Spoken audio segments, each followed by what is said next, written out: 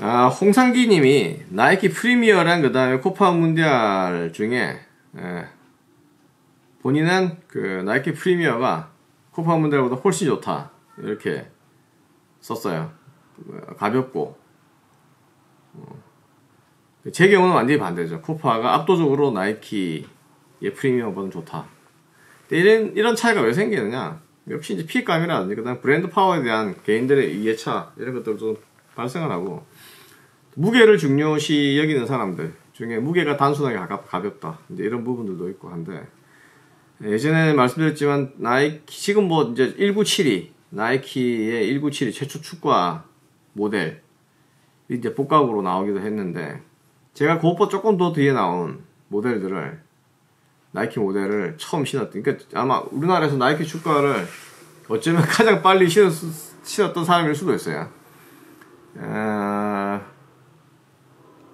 고등학교 1학년이었나? 그러니까 81년 2년경에 신었었으니까 아마 어쩌면 그, 그 이상한 축구를 가장, 물론 이제 그 당시에 나온 것보다는 아마 미군 부대를 통해서 흘러나온 신발이었기 때문에 조금 더, 어, 신발 연식 자체는 오래되었을 수도 있는데, 예, 그 제품도 이제 뭐, 완전히 발에 안 맞는 걸 억지로 신어서 뭐 피실감도 들었어요. 그러니까 신발이 딱 맞았으면 이 뒤꿈치가 까지는 게 아니라, 아, 그거, 그 제품인 경우에는 제가 평소 신던 것보다 5mm 이상이 컸던 제품이었거든요. 5mm, 10mm 정도 컸던 제품인데도 한번 신어보고 싶어 신었던데, 발이 완전 뒤꿈치가 아작이 났었어요. 피가 피철철 났을 정도로. 그래서 이제 제가 이, 이 신발에 특정 부위에 물집이 생기거나 까지는 현상이 반드시 신발이 너무 타이트한 결과는 아니다. 그러니까 신발이 크게 신어도 그렇게 된다는 거를, 어, 알게 된 계기가 되는 건데, 음, 나이키 프리미어가 티, 그 코파 문디알에 비하면 무게가 좀 가볍다. 이제 홍상기님은 이제 그런 쪽에서 무게 중점을 두시고 계시겠지만, 기본적으로 TM4 프리미엄 제 발과 안 맞아요. 신발의 last 자체가 제 발에 안 맞고, 캥거루 가죽이 부분적으로 사용되어 있다고 하더라도, 캥거루 가죽이 사용돼서 다 좋지는 않아요.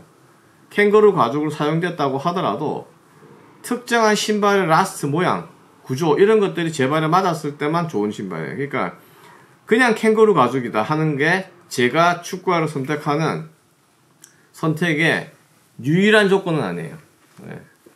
그거는 하나의 필요 조건이긴 한데 필요 조건인과 동시에 사실 충분 조건이라도 할수 있죠. 필요 조건인과 동시에 근데 그렇다고 해서 반드시 그런 건 아니다.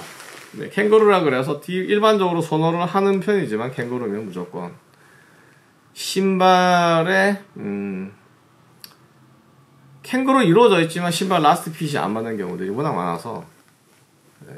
그 대부분 이제 디아도라 같은 경우도 그랬었었고 어 최근에 이제 키커 신어보면 또 그런 것도 좀 있고 그 다음에 미즈노 계열의 이제 TFI 이런 것들도 제발에 사, 사실 딱 성형이 잘 되어서 잘 맞아 떨어지진 않고 또 보면 뭐 TF도 최근에 6, 7 뭐 이런 것들은 그랬었었죠 아 5, 6? 6, 7인가? 6, 7 정도가 또 뭐 그런 것도 있었고 그렇기 때문에 음, 필요 조건 아니긴 하지만 그거 자체가 충분한 조건은 아니다. 예. 음, 뭐 코파 같은 것도 아디다스의 가장 베이직한 모델을 구성을 갖고 있지만 예, 코파도 예를 들면 뭐 18.1, 19.1에서 좋아하시는 분들이 계시겠지만 제 말은 전혀 안 맞거든요. 그러니까 이런 것들이 이제 축구화를 대해서 각 개인들이 느끼는 차가 굉장히 편차가 큰, 큰 제품이다. 그렇게 봐야 되는 거죠.